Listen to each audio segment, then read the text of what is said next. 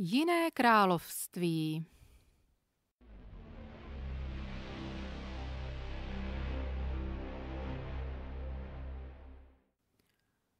Snad bych si ještě vzpomněl na své jméno. Snad bych si na ně ještě vzpomněl, kdybych stiskl pevně zuby, svraštil čelo a zavřel oči. Snad by se mi vybavilo mé jméno. Mé jméno, které už tehdy nikoho nezajímalo. K čemu bych je nyní vyvolával? K čemu? Možná, že to způsobil obvzlášť vlahý vítr, který se napřel proti stěně stojatého vzduchu, že se mi v jinak prázdné hlavě objevilo něco jako vzpomínka, uválená tužba. Ale k čemu bych vzpomínal na jakési jméno? Stejně bych je nedokázal vyslovit. Nedokázal bych převracet slaný jazyk tak, aby z něho vyšlo cokoliv připomínající lidské slovo, jakékoliv jméno, krátké a jasné. Šťastné jméno bych nedokázal vyrazit přes zažloutlé zuby a pokud ještě svedu promítnout na přední stěnu lepky odlesk pozůstalých slov, chybí mezi nimi mé jméno, mé dlouhé, posmutnělé jméno. Bývalo vyryto na měděné destičce přibité na vyklajících se polámaných vrátkách, za kterými vedla zarostlá stezička ke dvěma místnůstkám, kde jsme kdysi dávno bydleli, má žena a já. Ku podivu jméno své ženy si vybavím ještě nyní. Jméno mé ženy světelku je na bílé ploše černě orámované. Marie. Ale víc ani k němu nepřidám. Při největším úsilí ještě to, že kdysi umřela a já dlouho do noci klečel před jejím obrázkem, sám a sám, pak jsem stěžka s praskáním vstával a vycházel do rozčeřené noci. Nemohl jsem spát. To byly doby ještě delší než vzpomínka na jméno. Doby, kdy se mi dařilo v noci neklidně a s převalováním napodobovat spánek. To ještě žila má žena. Po její smrti jsem už v noci neusnul. Dřímal a klímal jsem jen odpoledne s chlebovým a polévkovým žaludkem. Za tmy jsem opouštěl svůj skrčený domek na konci odlehlého předměstí velkého města, opouštěl jsem vrzání prken a mimovolné skřípění okenic, opouštěl jsem lidské zvuky a nořil se do dutého němého prostoru, který jsem si vytvořil, který mě obemykal při mých bezcílných procházkách lukami, lesíky, poli, stráněmi, lukami, lesíky, Táhl jsem noční krajinou a na nic nemyslel. Nohy se předcházely pravidelně a neměně. Ruce komíhaly v podobném pořádku. Srdce tepalo tiše a sklesle.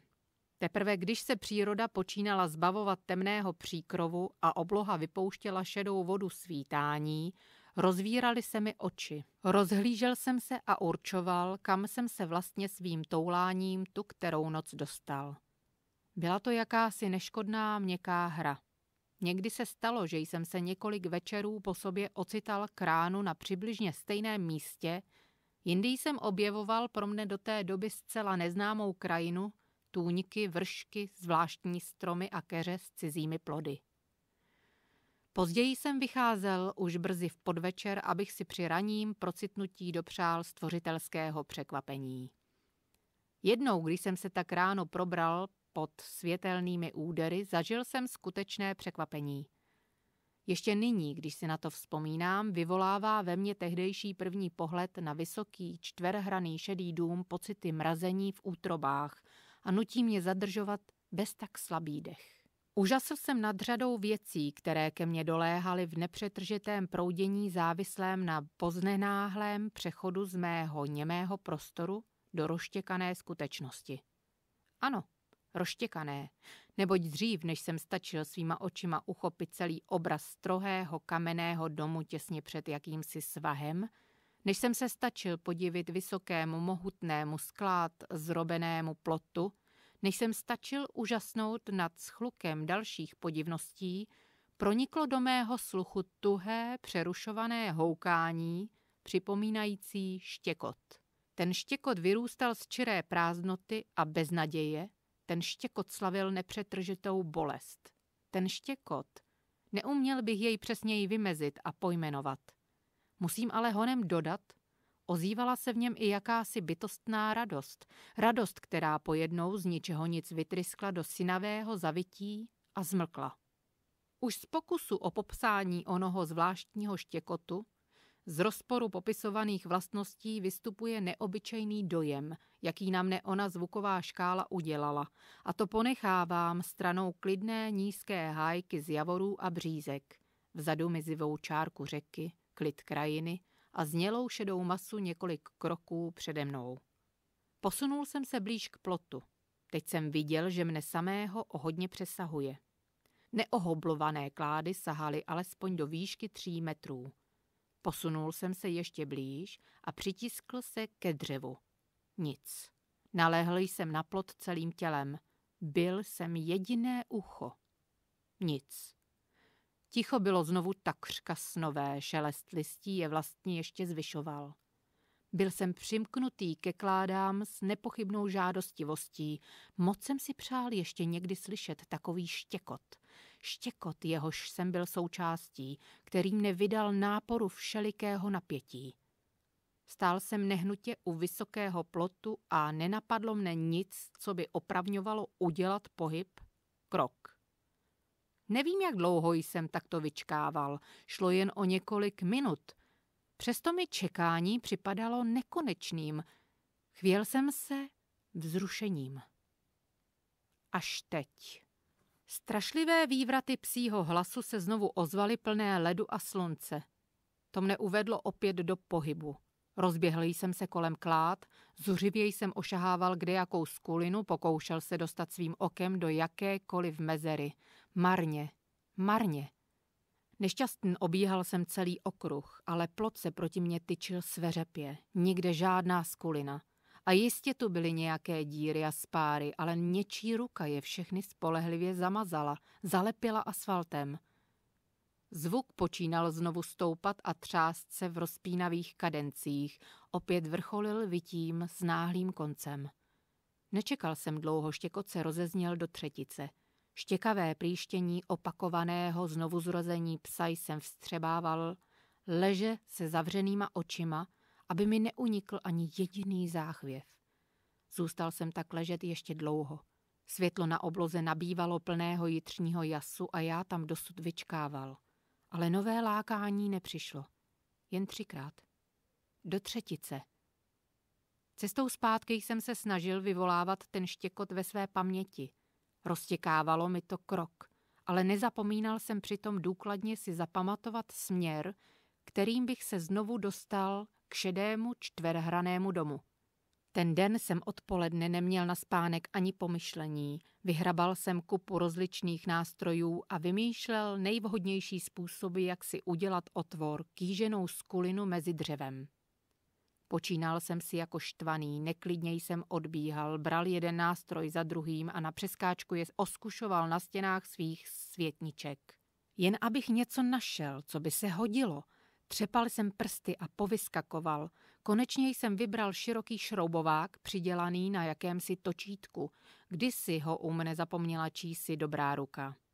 Vzal jsem ho a rozvrtával dveře, stěny, lavici, stůl. Šlo to. Nemohl jsem výjít dřív, dokud se světlo trochu nestáhne, dokud nespadne první slabé šero. Povíhal jsem dál po svých světničkách a snažil se představovat onoho psa, ten štěkot plul ve mně, nechával jsem ho narážet do své zvětšující se hlavy. Jakmile počaly mraky blednout a mizet v přicházející tmě, vypravil jsem se. Tehdy se mi nepodařilo udržet kolem sebe hluchoněmý prostor, tehdy a pak už nikdy. Nohy přerývaně pospíchaly, srdce mi tepalo nepravidelně a vzrušeně. Už, už jsem se viděl před šedým domem.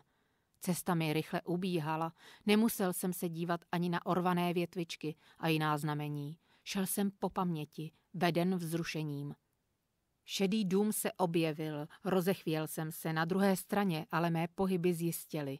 Vyrovnali se. Bylo ještě brzy, dům přede mnou byl tichý. S tím jsem počítal, musel jsem vydlabat otvor do plotu. Práce mi šla pěkně od ruky, vybral jsem si místo v čelní stěně plotu nízko od země, abych mohl při pozorování ležet. Brzy jsem měl otvor pro oko zrobený. To stačilo. Dychtivěji jsem se nahnul. Ukázal se mi holý, rozlehlý dvůr s tvrdou hlínou a štěrkem tmavohnědé barvy. Vpředu blízko mého otvoru byla jakási kůlnička, připomínala sice boudu pro psa, ale na poprvé se mi nezdála, byla příliš veliká. Od kůlničky až ke vchodu do šedé budovy se na dvou stožárech táhl řetěz. Před vchodem do domu vysel dolů ještě jeden menší řetízek, který končil umnou, roztřepanou smyčkou, bohatě zdobenou. Překvapila mne nevýrazná budova. Prostá šedavá omítka stěny bez výstupků a hrbolků, pár zatažených oken, žádné dveře, masívní vrata. Pak jsem se dočkal. Vrata zaskřípala, vyšla z nich vysoká, hubená žena, oblečená celá v černém, i na hlavě měla jakousi plachetku černé barvy, která jí stínila obličej. Udělala několik strohých, odměřených kroků až k svislé smyčce řetízku. Celé prostředí poslušně nabilo týž strohý, strnulý, osudový ráz. Nikdy, nikdy jsem neodhadl a nemohl odhadnout, kolik jí asi je let. To nešlo. Stála téměř v pozoru a neurčitě hleděla. Náhle se kmitla její pravá ruka, zachytila smyčku a trhnutím šmik. Loket se ohnul a blesku rychle narovnal. Celý řetěz se napěl. Zasvištěl a z boudy, která přeci jen byla psí boudou, vylezl ohromný pes se žlutými tečkami, vylezl, vybelhal se. Hned jsem si všiml obojku, pes měl kolem hrdla stříbřitý, slabě se lesknoucí široký obojek, na dálku jakoby poněkud odstával. Od krku mu vedl další řetízek, propojený s ostatními, neboť pojednou ta důstojná a klidná žena opět rychle podivuhodným pohybem sekla rukou, řetízky se napěly, obojek přilnul a pes vydal výjící štěk hrůzy, bolesti, spokojenosti a ještě něčeho, ještě něčeho. Zapotácel jsem se ozvěnou tohoto zvuku. Byl násobený pohledem, byl sevřený jako pěst v žaludku. Šeptl jsem mrcho, mrcho. Ohromný bílý pes se škobrtavě rozkolébal v jakémsi nejspíš pravidelném kruhu, neboť obcházel dráhu, na níž byla hlína a štěrk, pokud možno ještě ušlapanější. Běhal v kruhu a vždy v blízkosti ženy v černém vzpínal se k ní, obracel k ní oči, ale nemohl se zastavit, musel pokračovat. Ve chvíli, kdy se opět blížil do poměrně nejmenší vzdálenosti od mého otvoru, ženina ruka nepostřehnutelně švihla dolů, jako když švihám klacíkem podél příkopů. Pes sebou trhl a vyštěkl. Ruka byla stále dole. Slabě se pohybovala. Houkání psa, jeho štěkání, hýkání a skučení se rozléhalo a nabývalo podobné síly jako při prvém poslechu. Pes sténal a vnikal mi do prstů. Zavíral mi víčka a tiskl mě k zemi. Celou tu dobu žena stála nehnutě, černě vytesána do šedého pozadí. To vše se opakovalo ještě jednou. Žena opět šmykla rukou a pes, který přecházel z běhu do ploužení urousaným břichem po hlíně, rozevřel oteklé čelisti a ozvalo se bolestné, přerývané štěkání, ochraptělé, vysoké mrousání. Marně jsem napínal rozdrážděný mozek. Marně jsem se namáhal postihnout smysl onoho podivného počínání. Přestal jsem o tom přemýšlet, uspokojovalo mne pouhé pozorování. Nemyslel jsem na to, ale leželo to ve mně a leží to ve mně. Můj život dostal neměný řád. Spával jsem míň a míň. Probouzel jsem se v pozdním odpoledni. Netrpělivě se chystal už dlouho předtím, než jsem vykročil stejným směrem k stejnému cíli. Ty dny, ty týdny, co vím, tu dobu jsem jedl velice málo. Nepotřeboval jsem jíst, jenom jsem pil. Pil jsem ohromné množství vody, pramenité vody, kterou jsem napumpoval na dvorku. Občas jsem do ní kápl trochu octa. Měl jsem stále žízeň, Měl jsem horkost. Horkost mnou procházela, vzlínala k ženě v černém, k jejímu psu. Nevysvětlitelná horkost mnou lomcovala, když jsem kradmo usínal popoledni. Horkost mnou lomcovala, když jsem se probouzel o málo hodin později. Vycházel jsem na cestu a jako druhdy tvořil se kolem mé hlavy zvláštní prostor. Ale nyní to nebyl prostor bez zvuku.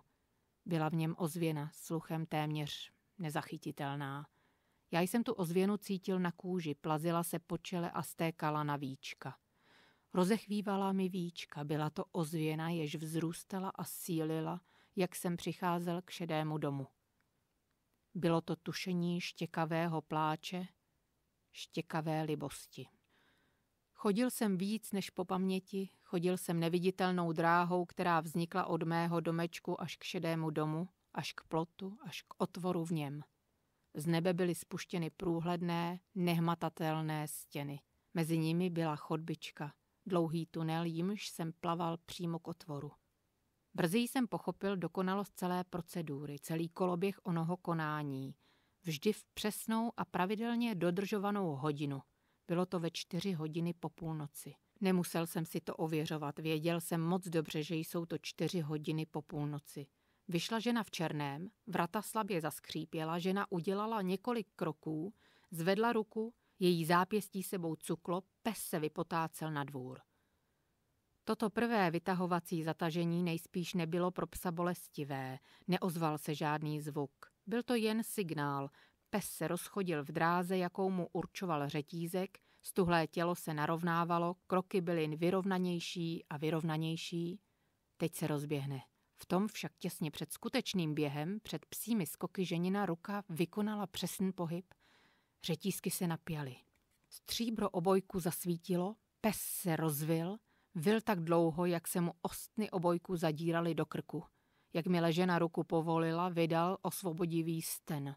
Onen skřek tak neobyčejných, zvláštních a podivných vlastností. Směsici rozličných pudů, radosti, zloby, touhy, naděje, zklamání, nevím čeho. Byl to zvuk, jenž mne tak zasáhl privý večer. Je pravda, že jsem jej vnímal čím dál slaběji a slaběji. Soustředoval jsem se na ženu v černém. Přitahovala mne. Psův hlas ale neochaboval, naopak. Při druhém a třetím trhnutí se mi zdálo, že pes štěká s větším a větším důrazem, s větší bolestí a zmatkem. Při třetím trhnutí se vždy vymršťoval, jako by se chtěl co nejblíž dostat k ženě. Potom žena řetízek pustila, pes se pomalu odplížil zpět do boudy. Představení skončilo.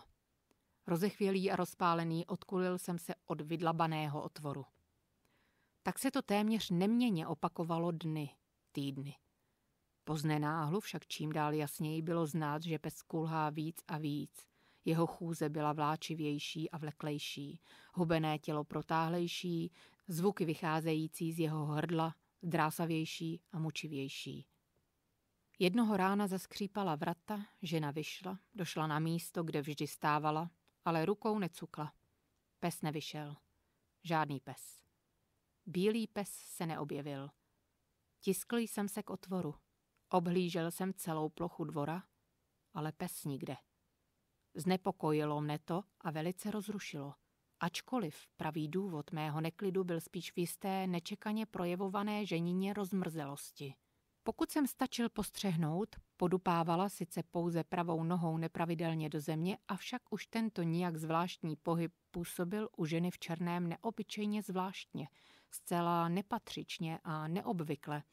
Stála na místě a rozhlížela se očima po celém dvoru. Napjatý a netrpělivý jsem vyčkával, co se stane. Nestalo se prakticky vůbec nic. Žena se trvávala na místě asi tutéž dobu, jakou zůstávala venku v době, kdy na řetízku byl pes. Automaticky cukla třikrát svěšenou rukou. To se opakovalo řadu dalších dnů. Měkké slunce mi opalovalo záda, přihlížel jsem kusu s jedním hercem. Žádná rychlejší krev nestačila dojít až do mé hlavy. Vykonával jsem se prostě a jednoduše. Tu a tam jsem něco snědl – Zastrčil suchou rukou do rozpáleného hrdla, zakopl o nábytek svých světniček, zamotal se v nich a znovu slepě pospíchal k šedé krychli. Že mne žena v černém pozoruje, že o mě ví, že se mnou počítá, že mne obezřetně a bystře sleduje, to jsem nevěděl. Vědomí něčeho takového však muselo být zasuto někde ve mně. Někde v mých cévách a čivech neboť jsem se ani trochu neulekl, ani trochu mne nepřekvapilo ono nepochybné gesto, které žena v černém jednoho rána udělala mým směrem, na mne, na mé vyboulené oko. Žena stála jako jindy na svém místě, ale nevzala smyčku do ruky. Otočila se do přímého směru k mému otvoru, zvedla ruku a pokynula mi. Nebylo to pozvání, nebyl to příkaz, prostě jsem vstal, obešel plot, otevřel dvířka a kráčel k ženě. Vzduch byl plný tekutostí a proudění, větve stromů zběsile tloukly v mém žaludku a tloukly výš. Byl jsem rozjásaný a klidný pronikavým blahem, rodil jsem se částečkou po částečce, spěchal jsem. Teprve daleko později, když seberu dostatek sil a proženu něco kapek slabé krve svým mozkem, uvědomím si, že tehdy, když jsme žena v černém a já stáli poprvé a naposledy tváří v tvář, tehdy ženiným obličejem proběhl vzdálený náznak něčeho, čemu jsem při dobré vůli mohl říkat záchvěv citu, třes pohnutí. Její rty se zavlnily, mohl to být i úsměv. I já jsem se usmál v ustrnutí nad ženou, nad její vábnou, pyšnou postavou a obličejem. Udělala rukou ještě jeden posunek. Celou otevřenou dlaní mi kývla a já přistoupil těsně k ní. Rozevírala mne ona blízkost. Prostupovaly mnou pocity jasu a čerstvá vůně. Jak jsem se dostal k ní, naklonila se žena hbitě a úskočně k mému hrdlu a cvak. Mám obojek na krku. Srdce mi vyběhlo na strmý vrcholek nehybného. Srdce mi vyběhlo na strmý vrcholek nehybného strnutí a zděšení. V jeho středu kameněl úžas. Právě tak rychle žena skočila zpátky. Pak jsem se vzchopil, probral se a začal křičet. Jektat zuby, hrozit a spílat, řvát, nadávat, chrlit spěněná slova. Dokola jsem křičel, ať mě pustí, co to znamená, ať si nedělá legraci, co si to dovoluje, co si to myslí, ať okamžitě uvolní ten obojek, zvyšoval jsem hlas, chtěl jsem na ní skočit, měl jsem strašnou chutí udeřit do toho skelného, výsměšného obličeje. Vrhl jsem se na ní, ale ona jen lehce šmykla rukou a to jsem teprve začal skutečně vít a spílat jí. Obojek měl na spodku spilované bodce, které se mi bolestně prudce, žhavě zarvaly do krku. Objevila se krev a já jsem tam stál jako v podivném příšerném panoptiku. Stál jsem nemohoucně na jednom místě, přitom má ústa, můj jazyk, mé oči se pohybovaly v jediném kole třeštění, nadávek a urputného vzteku. Nevím, jak dlouhou dobu jsem tam křepčil a soptil, nestvůrný obojek se při každém mém pohybu směrem k ženě svědomitě a poslušně vril do mého krku. Měl jsem brzy úplně zakrvácenou košili, pomalu jsem začínal vysíleně podklesávat. Hnědorudé kruhy mi probíhaly očima. Zoufale jsem začínal splétat urážející slova s prozbami a žadoněním. Mrcho, mrcho, pust mě, prosím tě moc, Nikomu nic nepovím, jen mě pusť, mrcho. Ty mrcho skurvená, smiluj se nade mnou. Z hrdla mi vycházely čím dál nesouvislejší zvuky. Pálilo mě na jazyku i vícnu. Ztrácel jsem schopnost utvářet nejjednodušší výkřiky na to žadonící žádosti. Jako zvláštní, ohromný, neblahý pták tyčila se žena v přibývajícím šeru. Stála bez hnutí, jako bych tam ani nebyl. Jako by to všechno byl jen odraz nějakého mého snu. A poznal jsem, že se chýlí nová noc. Uběhl celý den. Zhroutil jsem se na všechny čtyři, dotkl se udusaného štěrku a přilehl k němu bolavou tváří a rozchváceným tělem. Omámeně a zbaven možností cokoliv předat od hlavy k rukám, k ústům, padl jsem na zem a v průběhu nerozlišitelné chvíle jsem po řadě a řadě roků okamžitě usnul. Propadl se do těžkého, horečnatého spánku. Odumřelý, vyprahlý a se strašnou bolestí hlavy jsem se přes vleklé kolísání jasných myšlenek a úplného nepochopení na pozadí mlžné hranice dalšího dne dostal znovu na nohy. Žena v černém stála na svém místě. Dva, tři kroky ode mne. Nehybně jako by tam stála věčně, od jak živa, do věčnosti. V rozespalosti a oškubanosti jsem zapomněl na stříbřitý obojek a učinil pohyb směrem k ženě. Letící oheň po slabě zastrupaceném krku mě v mžiku uvedl do stavu naprosté čirosti a pronikavého vědomí nastalé situace. Zůstal jsem stát a promluvil k ženě několika klidnými, pokud možno uvážlivými větami. Žádal jsem ji a prosil, ať už necháte ošidné komedie, ať mě pustí, že se nikomu o ničem nezmíním, jen ať mě zbaví toho obojku. Žena v černém na mé věty ani v nejmenším nereagovala, stála na svém místě dva, tři kroky ode mne, nehybně, jako by tam stála věčně a od jak živa do věčnosti. Zvýšil jsem hlas a nabíral jsem k pochroumanému křiku, když tu šmik Ženina ruka sjela o ním už povědomým pohybem, stříbřitý obojek byl okamžitě drsným, nemilosrdným sevřením. Ach, už nesmím zvyšovat hlas, už mi není dovoleno otevírat ústa ke spravedlivému protestu. Ta běhna, ta mrcha! Rozehnal jsem se a přes vzrůstající a neutuchající křeč bolesti a hrůzného bodání skočil jsem směrem k ženě, zatímco její ruka vytrvale kmitala, stačil jsem se dotknout černé plachetky – Chtěl jsem ji chytit za krk, rdousit a šlapat po ní, ale rozžhavené kolo na krku chytlo modrým, běsivým plamenem, který mne ohnul jako kujnou ocel slzícím, skrvaveným obličejem do štěrku. Při tom ohýbání ve mně něco kostlivě prasklo a uvnitř srdce dutě šplíchlo. V nebi se udělal otvor, průrva, kterou se prudce a šíleně rychle lil hořící morek. A tma, a tma, dlouho tma. Tma. Vědomí jsem ale nestratil. Zvedl jsem se na všechny čtyři a rozklusal se po vyznačené stezičce v písku a štěrku. Byl jsem mokrý, spocený, plný chvějivé horkosti, Svaly ztratily svou pružnost. Snažil jsem jimi pohybovat o to rychleji, rychleji. Snažil jsem se ztratit v rytmu, v běhu, v utíkání. Chtěl jsem předstihnout bolest a zoufání.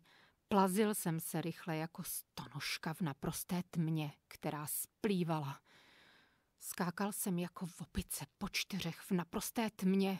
Štěkal a kňučel jsem jako pes v naprosté tmě, která tu a tam zableskla jantarovou žlutí dychtivých, náhle velice dychtivých očí, jež mne upřeně a s pozorným zájmem sledovali. Skončilo to. Pokud si dobře vzpomínám, paměť mi již počíná vynechávat Líná krev nechce zaplňovat komůrky v mozku. Vzpomínám na vše jen nejasně a v jakémsi šeřelém odstínu. Pamatuji si, že jsem prostě znovu najednou narazil na tvrdý, mrtvolný spánek bez spočinutí. Jistě, pokusil jsem se ji zpočátku ještě několikrát přesvědčit o tom, aby mě pustila, aby mne nechala, bylo to ve chvílích, když jsem se upamatoval na svůj opuštěný pokojík. Několikrát jsem jí to připomenul, ale bylo to všechno jako na vodě, mé žádosti i její strnulost. Vyslovil jsem své a ani jsem netrval na odpovědi, že na včerném mne doplňovala svým mlčením. Několik dnů, několik týdnů kroužil jsem kolem ženy v černém Běhával jsem kolem ní a její oči mne vytínaly ze vzduchu s děsivou, konejšivou přesností.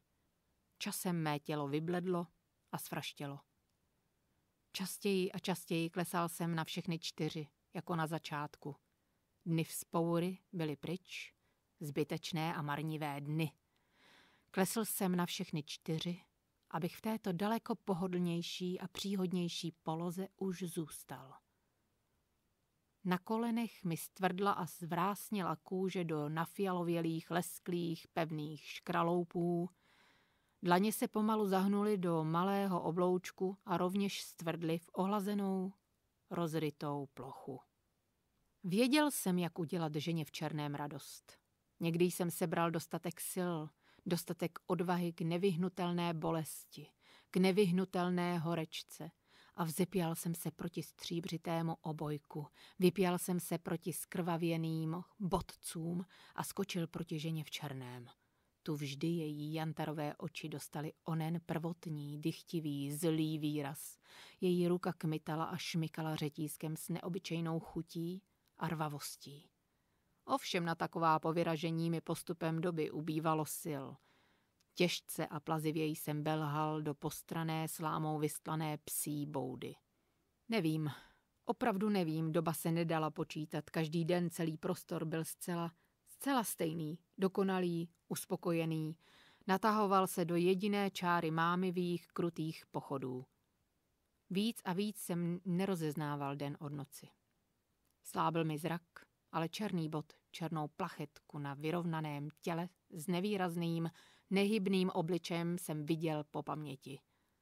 Ten obraz je vpálený a vplakaný kovově do mého mozku. Bude žít v mé duši ještě dlouho po smrti. A ta byla blízko. Mé smysly už byly mezi sebou natolik nepropojené, že pravidelnou bolest každého rána jsem přestával cítit i když žena v černém samozřejmě neustávala ve svém konání. Její pohyby probíhaly možná s větší a větší vervou, čím pomalejší a těžší bylo mé klomácení. Přesto mi ta bolest naprosto rozdrásaného a rozdrceného krku už nepřicházela k srdci a do hlavy. Zůstávala někde na konci hrotů, stará a navyklá. Je tu klidno. Důvěrně jsem se zblížil s šedým domem, s chnědým štěrkem, s tmavou boudou, vysokým nebem, blahým větrem a černou ženou. Je tomu tak. Nepočítám dny. Nebo lépe, nepočítám dobu, že se rozvíjí, kde si pro mne v neznámém prostoru čekám vyrovnaně na den, kdy mi bude obtížné nechat se vláčet na obojku ven na světlo kdy mi to bude obtížné z jednoho prostého důvodu, že totiž nebude, co by se dalo vláčet, kdy ani roztřepaná krev nepoteče mými žilami. Čekám na ten den s podivně prázdnou hlavou. Čekám jej brzy, neboť tak tomu je. Myslím si, že své černé paní mým skonem neučiním velký zármutek. Mrzelo by mě to, přilnul jsem k ní. Vím ale, že oni nemusíme mít obavu že se nemusím strachovat o její ruku, o ten krásný matný obojek. Onehdy, když jsem ještě v prudším světle dokázal prozřít, dokázal otevřít oči. Spatřil jsem, že otvorem, který jsem kdysi v dávno věku tak pracně vyril, že tím otvorem nahlíží nalité, slabě rudé, vzrušené lidské oko.